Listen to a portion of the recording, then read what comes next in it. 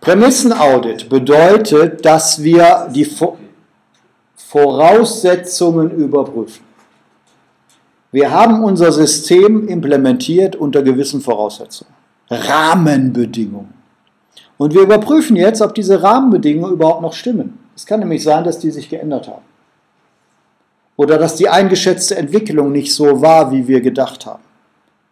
Wir sind immer gestartet unter gewissen Voraussetzungen. Ja, Sie gehen morgens los unter der Voraussetzung, dass der Wetterbericht stimmt und es nicht regnet. Das ist eine Voraussetzung. Wenn Sie irgendwann am Absaufen sind, dann ist die Frage, stimmten Ihre Voraussetzungen? Ja, offensichtlich in dem Fall nicht. Ja, so geht es Unternehmen auch. Man geht von gewissen Voraussetzungen aus.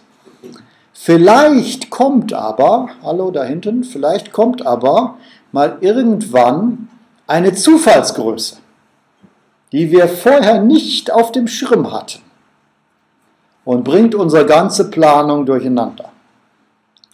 Ich wette mit Ihnen, die Atomindustrie hatte ganz klare Strategien und Pläne. Und dann kam Fukushima. Alles anders.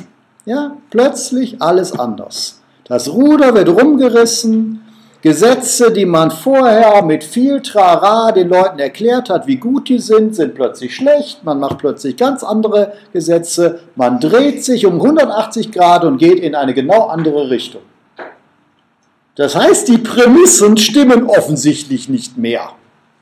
Ja, dann kann auch der Rest nicht mehr stimmen. Das ist Prämissenaudit. Das müssen wir überprüfen ab und zu mal.